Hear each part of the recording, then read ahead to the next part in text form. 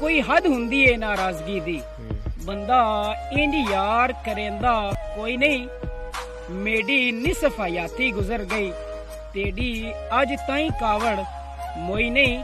ਤੇ ਬੰਦੇ ਕਤਲ ਦੇ ਵੈਰ ਵੀ ਬਖਸ਼ ਛੁੜੇਂਦੇ ਨੇ ਉਹ ਮੇਡਾ ਏਡਾ ਜੁਰਮ ਤਾਂ ਕੋਈ ਨਹੀਂ ਪਰ ਇਹਨਾਂ ਹੰਝੂਆਂ ਤੇ ਕਰ ਇਤਬਾਰ ਚਾ ਤੇਰੇ ਬਾਜਾ ਸਾਡਾ ਕੋਈ ਨਹੀਂ।